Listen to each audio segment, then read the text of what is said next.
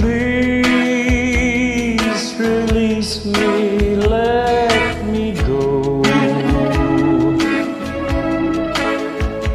For I don't love you anymore. To waste our lives would be.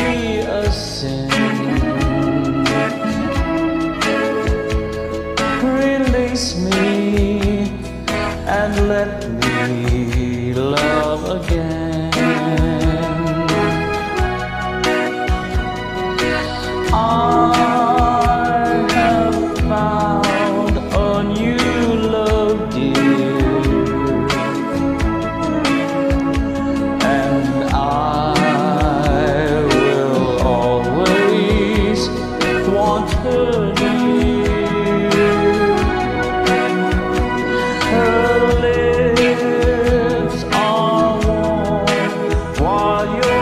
my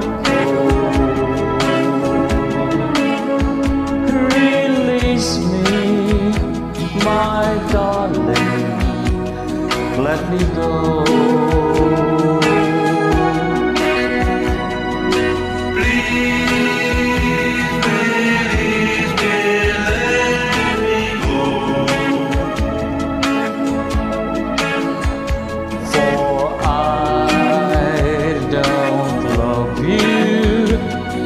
anymore.